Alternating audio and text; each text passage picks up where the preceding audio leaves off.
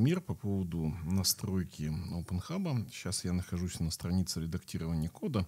Ну, я сейчас покажу, что я делаю. На всякий случай я сохраню то, что я делал. Смотрите, э, я редактирую плату реле. Э, плата реле номер два. Она имеет адрес 192, 168, 15, поэтому 15 ну, так для справки. А, вот, то есть вот это у меня список всех компонентов, которые у меня есть всех модулей, точнее, Things называется, вещи, как бы, если уж дословно переводить. Но, как бы, по смыслу это устройство. То есть, это логические блоки, а, у которых есть каналы, по которым происходит взаимодействие с этим устройством. Значит, вот эта плата реле. Тут не написано пока, где она стоит. Понятно, что это... То есть, тип у нее HTTP URL thing. В данном случае это означает, что взаимодействие с ней идет по протоколу HTTP. То есть по такому совсем нетипичному для умного дома протоколу, то есть можно подключать, в принципе, все, что угодно.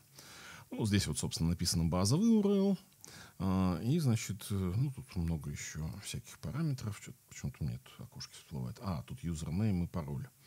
Username тут указан, давайте его тоже уберу. Пароля тут нет, не требуется. Он там, к сожалению, в этой конфигурации пароль указывается прямо а, прямо в запросе. Вот. Application, а, content type, application JSON.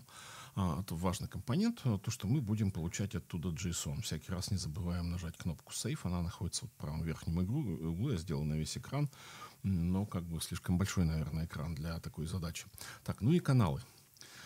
Собственно говоря, вот здесь можно создавать каналы, можно создавать их вручную. Ради интереса я вот сейчас, например, канал 2.6 создам вручную. А, так, секундочку. Создам я его вручную, разбежался. А, MySwitch 25, значит, MySwitch 26. Ну, название просто, чтобы у нас это все было системно. А, почему я делаю такие наз... Ох, тут у меня... Поменяем. А, то есть почему такие странные названия? Ну, так сложилось. Я это перетаскиваю от конфигурации, которая у меня тянется с OpenHub 1.3. Ну и, собственно, поэтому, чтобы потом правило было проще перетаскивать, я стараюсь названия переменных сохранять. То есть вот мы сейчас 26-й э, switch, у него у 26-го есть вот описание 2.6 водосток запад. То есть это маленькая релюшка, она включает она включает пусковое реле, а, которое уже включает большую нагрузку. Вот, то есть э, это switch, то есть это переключатель. Дальше, дальше, дальше. Тут нужно добавлять много всего всякого. Так, ну давайте on value. Тут у нас есть такая специфика, что on, это когда включено у нас там передается единичкой, off передается нулем.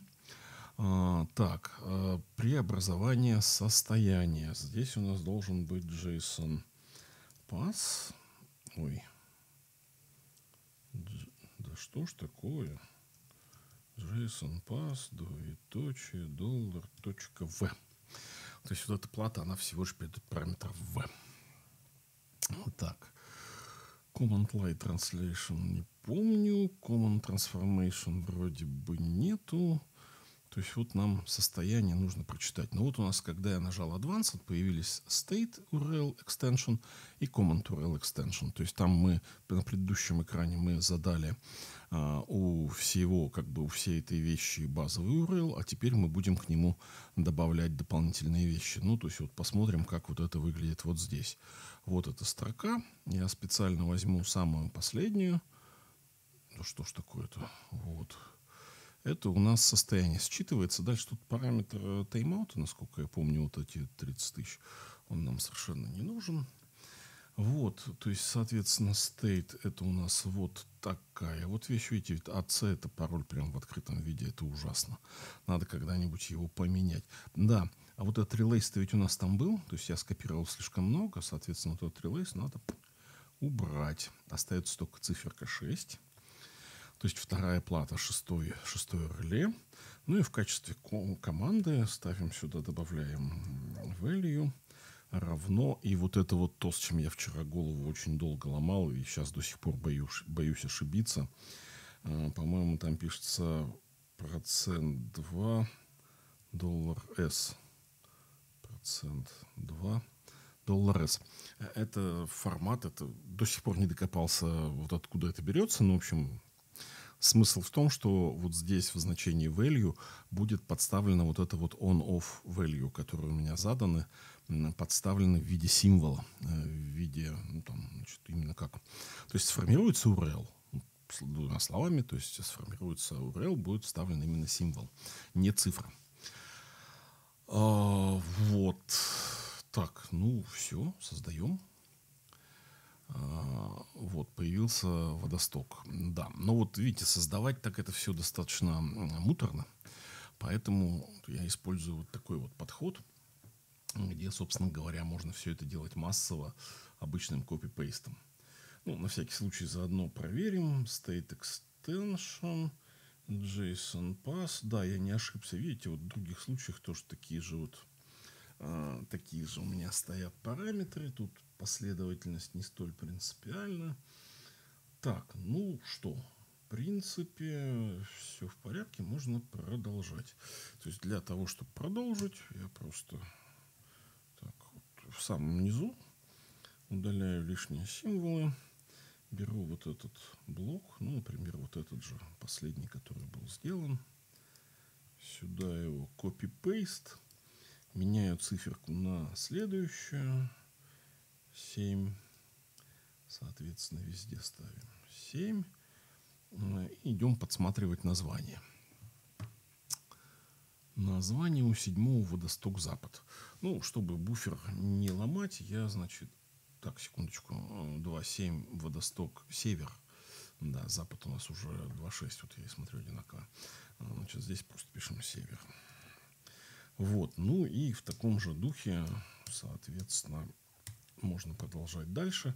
Я сейчас еще один сделаю и перейду уже к, к полноценно к, к тому, как довести это все дело до ума тоже меняю везде, ставлю восьмерочку. Так, восьмерочку. Смотрим, как эта восьмерочка называется. Это водосток крыльцо. Водосток э, крыльцо. То есть это подогрев водостоков у меня. Все. А, пока этого достаточно, записываю, возвращаюсь к разделу Things. А, ну, тут, да, зачем я сюда вернулся? Мне в Channels надо было, то есть в каналы. Смотрите, какая штука. Вот, например, у Драшера в моем кабинете уже заведен айтем, заведен элемент управления. Если в него зайти, то вот у него есть там включить-выключить. Если нажать кнопочку Analyze, то тут показано, когда этот торшер был включен-выключен, да состояние меняется. Ну, так я вчера вечером только настроил, то, соответственно, тут ни о чем не говорит. Можно его включить. Вот у меня торшер зажегся. А, выключить. Вот. То есть это все работает, команды передаются. Вчера я долго мучился, даже в отладке смотрел, какие команды передаются. Все, все нормально работает. Окей, с торшером у него есть айтем. Давайте добавим а, у эркера правую розетку. Ну, тут ничего, к сожалению, не будет видно. А, добавить айтем. Что я сделал? Я из старой системы, чтобы не перебивать всю заново, там всякие иконки, да что-то там много всякой ерунды, я использую существующий вот 2-1. То есть для чего я это все делал? Ну, для того, чтобы просто это было проще подтянуть из старого конфига. К сожалению, полностью автоматическое не получилось. Ну вот все, я то есть линкую этот канал, по которому идут команды, э, с элементом управления. Все, нажимаю линк, вот у меня появляется эркер правая розетка, он сейчас выключен. Ну, в общем, ничего там нету. Он используется в автоматизации, в новогодней иллюминации, там включается гирлянда на елке разная. Вот, ну и таким образом можно дальше. То есть можно, если что, вот э, конфигурировать здесь выбранный канал. Ну, нам это сейчас не интересно. То есть все и так работает. То есть можно вот здесь его набивать. А, да, кстати, ради, ради интереса давайте посмотрим те каналы, которые мы делали в JSON. Вот водосток крыльцо мы делали его в JSON. А, ради интереса, ну, значит, снова это у нас 2.8. Удобно в поиске сразу находить, искать и все, линк.